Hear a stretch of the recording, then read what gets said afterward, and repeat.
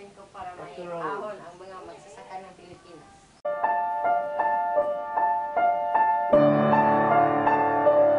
Anak, papalitan ko ang araw ng kalayaan.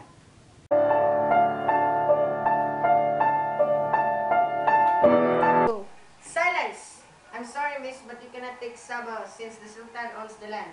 Mm, I won't allow you to take this land for some Malaysia, you're saying.